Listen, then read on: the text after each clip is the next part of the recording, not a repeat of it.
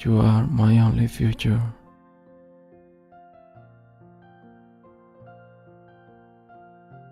It doesn't matter if life is hard.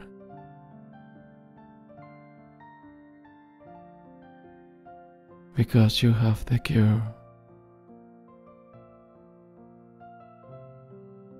to the pain of my heart.